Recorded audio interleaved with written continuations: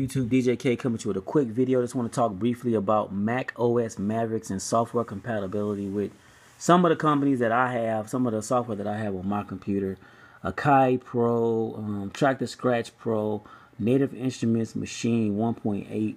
All those softwares work fine. Every last one of them. I can bring up Traktor right now and I can show you that it's not going to crash or anything or everything works fine. I can bring up a drum track from these loops here and uh, I can play it. And you see that it's working fine with no problem no issues. Uh, so that's compatible with already. It's already compatible with Mac OS Mavericks. Also Native Instruments Maschine 1.8.2 I think that's what they on right now with the old software for the first and second generation machines. That works fine. I can't really play a beat on here because my hard drive is not connected to it. My my plugins are on my hard drive, so it won't do anything really right now. But I'm just showing you guys that it does come up and it does work fine. Uh, no issues, no crashes or anything like that on that software. On the Akai MPC Renaissance software, it works no problem. Loads up fine. No crashes whatsoever. Don't be scared to uh, install Mac OS Mavericks. Mac OS Mavericks, it was an update uh, OS update, but it didn't really have a whole lot of new features to me. It just had like um, now they got iBooks on there. You can tag different files and folders and put them, you know, put them in like tag different stuff to go search for things real quick and make your workflow on a Mac computer a lot faster. That's pretty much what they did. And they also did something with Apple um, TV to where you can mirror, you can actually mirror, you've been able to mirror your screen, which you see my screen right there mirrored on the computer, I mean on the TV over there.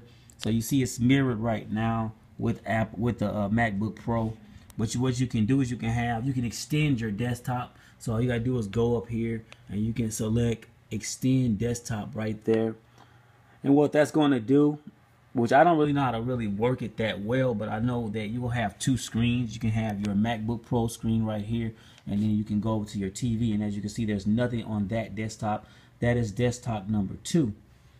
And how do you bring things up in that desktop? I can't really go into detail on that yet because I don't really know. I just know how to extend the desktop so I can show you guys that that's what the new that was that was the big one of the biggest features they had in Mac OS Mavericks, I guess. One of the biggest features. Another big feature they had is uh something that will help you have more battery life. Uh, so your MacBook Pro would run uh, more efficiently and save more save power, I guess. Hopefully, I don't know. I haven't really, I can't really test that right now because I always have my MacBook Pro plugged up all the time, most of the time. Right now, it's not, but it's almost about to die anyway. But it's supposed to be better with battery life with this new OS update. Also, the new Mac OS updates from here on out are going to be free. They're never going to charge their customers again for uh, OS update. They come out with Mac OS Jason. I don't know what they're going to go to next, but I'm just saying whatever they go to is going to be free. It's never going to cost you anything for future uh, OS upgrades or whatever. All upgrades will be free from here on out. Um, hopefully other companies follow suit with that. You know, like Native Instruments with the Maschine 2.0 software. Some people don't want to pay that $99 for that 2.0. But I think because it's brand spanking new, it's a brand new redesigned software. That's probably why you can say that it's justifiable, justified, that price is justified because it's brand new software. It is not Maschine 1.8, it's Maschine 2.0, which is a brand new software.